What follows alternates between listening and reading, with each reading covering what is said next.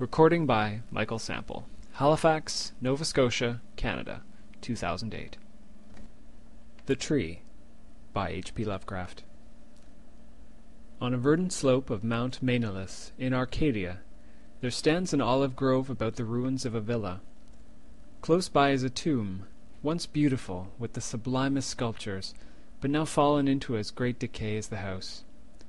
At one end of that tomb, its curious roots displacing the time-stained blocks of Pentelic marble, grows an unnaturally large olive tree of oddly repellent shape, so like to some grotesque man or death-distorted body of a man, that the country folk fear to pass it at night when the moon shines faintly through the crooked boughs.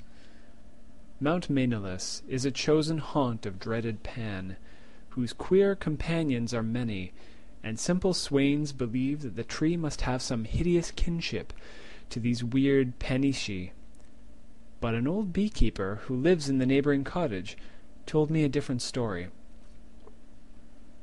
Many years ago, when the hillside villa was new and resplendent, there dwelt within it the two sculptors Kalos and Musides.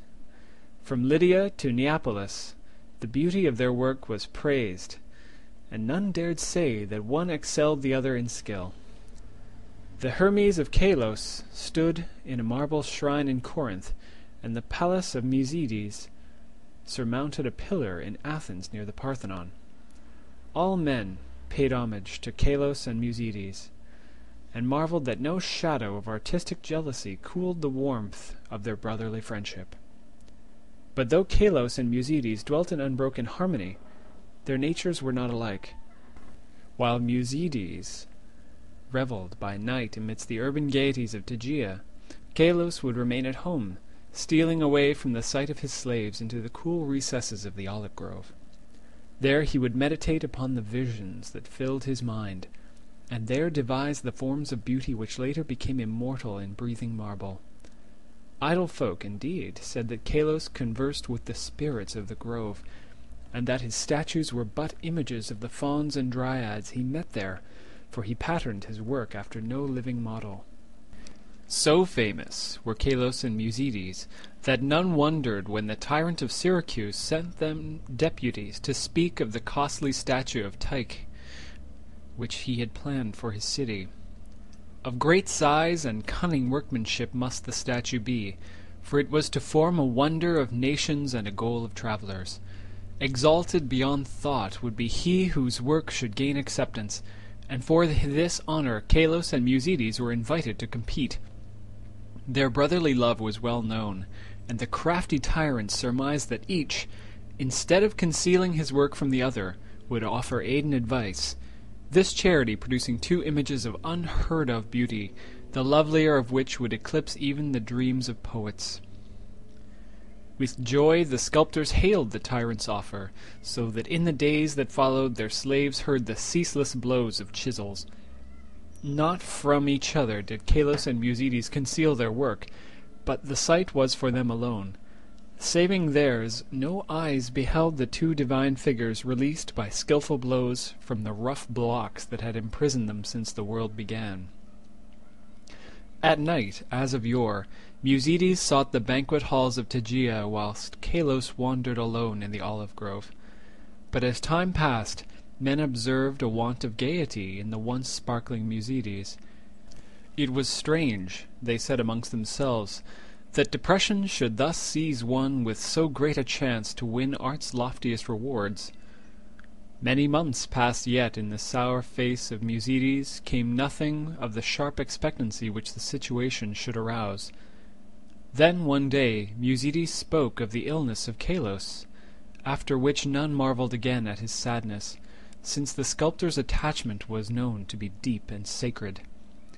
Subsequently, many went to visit Kalos, and indeed noticed the pallor of his face, but there was about him a happy serenity, which made his glance more magical than the glance of Musides, who was clearly distracted with anxiety, and who pushed aside all the slaves in his eagerness to feed and wait upon his friend with his own hands. Hidden behind heavy curtains stood the two unfinished figures of Tyche, little touched of late by the sick man and his faithful attendant. As Kalos grew inexplicably weaker and weaker despite the ministrations of puzzled physicians and of his assiduous friend, he desired to be carried often to the grove which he so loved. There he would ask to be left alone, as if wishing to speak with unseen things. Musides ever granted his requests, though his eyes filled with visible tears at the thought that Kalos should care more for the fauns and the dryads than for him. At last the end drew near, and Kalos discoursed of things beyond this life. Musides, weeping, promised him a sepulchre more lovely than the tomb of Mausolus, but Kalos bade him speak no more of marble glories. Only one wish now haunted the mind of the dying man, that twigs from certain olive trees in the grove be buried by his resting place, close to his head. And one night, sitting alone in the darkness of the olive grove, Kalos died. Beautiful beyond words was the marble sepulchre which stricken Musides carved for his beloved friend. None but Kalos himself could have fashioned such bas-reliefs, wherein were displayed all the splendours of Elysium. Nor did Musides fail to bury close to Kalos' head the olive twigs from the grove. As the first violence of Musides' grief gave place to resignation, he laboured with diligence upon his figure of Tyche. All honour was now his, since the tyrant of Syracuse would have the work of none save him or Kalos. His task proved a vent for his emotion, and he toiled more steadily each day, shunning the gaieties he had once relished. Meanwhile his evenings were spent beside the tomb of his friend, where a young olive tree had sprung up near the sleeper's head. So swift was the growth of this tree, and so strange was its form, that all who beheld it exclaimed in surprise, and Musides seemed at once fascinated and repelled. Three years after the death of Kalos, Musides dispatched a messenger to the tyrant, and it was whispered in the agora of Tegea that the mighty statue was finished. By this time the tree by the tomb had attained amazing proportions, exceeding all other trees of its kind, and sending out a singularly heavy branch above the apartment in which Musides laboured.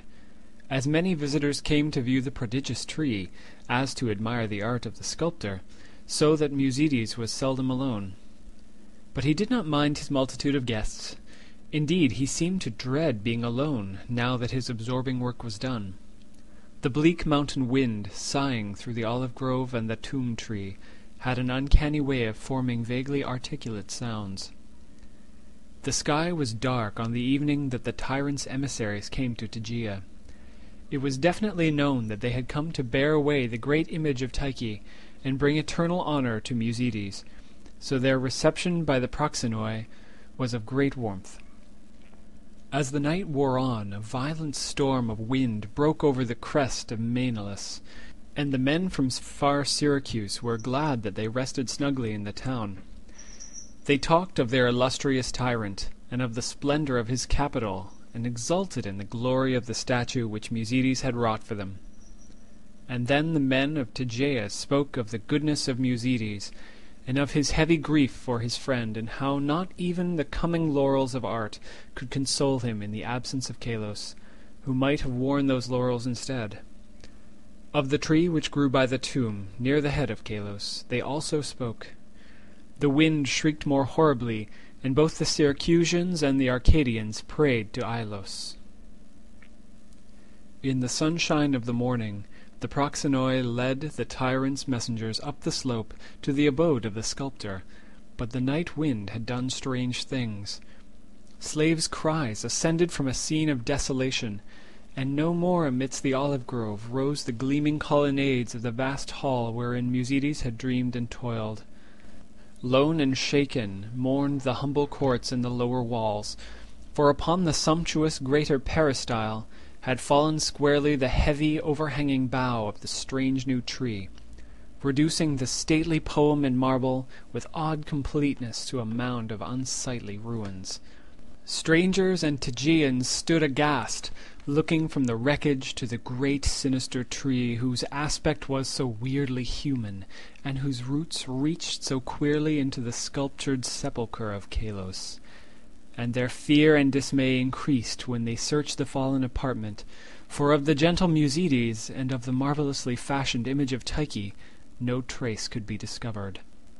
Amidst such stupendous ruin only chaos dwelt, and the representatives of two cities left disappointed. Syracusans that they had no statue home to bear, and Tegeans that they had no artist to crown.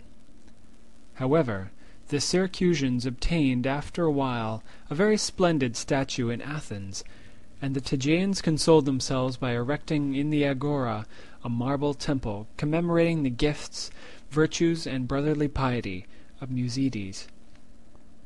But the olive grove still stands, as does the tree growing out of the tomb of Kalos, and the old bee-keeper told me that sometimes the boughs whisper to one another in the night wind, saying over and over again, Oida, Oida, I know, I know. End of The Tree